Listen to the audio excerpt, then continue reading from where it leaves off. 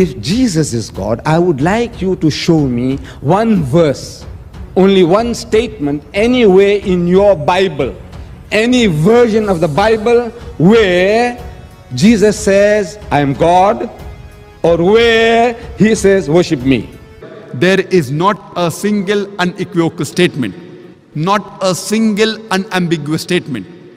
In the complete Bible, where Jesus Christ, peace be upon him, himself says that I am God, or where he says, worship me. Ahmad Deedat and his parrot Zakir Naik challenged us to show them where in the New Testament Jesus says, I am God or worship me. Sure, why not? Challenge accepted. First, let us go to Ezekiel 37 27, which is in the Old Testament. God here says, My dwelling place will be with them. I will be their God, and they will be my people. And if we go to Jeremiah 24 7, which is also in the Old Testament, here again God says, They will be my people and I will be their God. As you see, in the Old Testament, God Himself claimed to be the God of His people.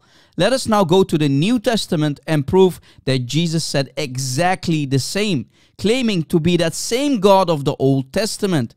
This is the book of Revelation 21 7. So John the Apostle said, and he said to me, meaning Jesus, It is done. I am the Alpha and Omega, the beginning and the end. I will give of the fountain of the water of life freely to him who thirsts. So Jesus is the Alpha and Omega, the beginning and the end. And he is the fountain of life. The one who is victorious will inherit these things. And I, Jesus said, will be his God, and he will be my son. As you see, Jesus Christ claimed to be that same God of the Old Testament who spoke the same words. Jesus Christ confirmed and made it known again to everybody in the New Testament that he is that same God of the Old Testament speaking the same words again. Jesus said, and I quote, I will be his theos in the Greek, meaning his God, and he will be my son. That wasn't too hard, was it? What an embarrassing challenge from Ahmad Deedat and his parrot Zakir Naik. Now Ahmad Deedat tried to save himself and said, Well, the book of Revelation is only a dream. Let us hear exactly what he said and see for yourself how he even buried his own prophet Muhammad. Watch. It's the only place and this is a dream, a vision that John had seen. And in dreams we dream anything. You know, look, it is not historical, it is not factual uh, an imagination of man. And we all it happens to me sometimes when i eat too much. Then you have these dreams this indigestible thing too much meat and you go to sleep and then you dream you have uh, nightmares. So this is like a man who is dreaming. So according to Deedat the book of revelation is an imagination of a man. And he said the apostle john ate too much.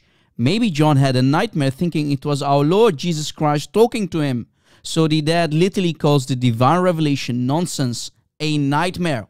Wow! Well, my friends, Deedat forgot one important thing. His own false prophet Muhammad used to receive divine inspiration through dreams. Wow! Was this hypocrite, this munafiq, even a real Muslim? Clearly he was not. Deedat just basically called his own prophet a liar and he left Islam.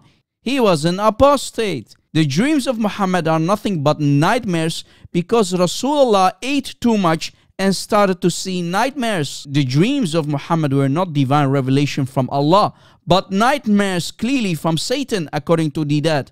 Maybe.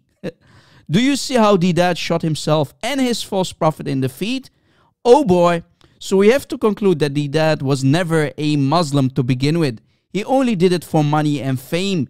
In the end, he became mute and died a painful cursed death for his blasphemies against Lord Jesus Christ and the Holy Bible. Be warned, my stone kissing Muslim friends.